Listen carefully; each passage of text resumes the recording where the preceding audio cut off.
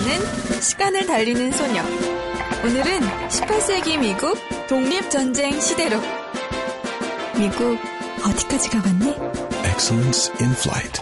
Korean Air.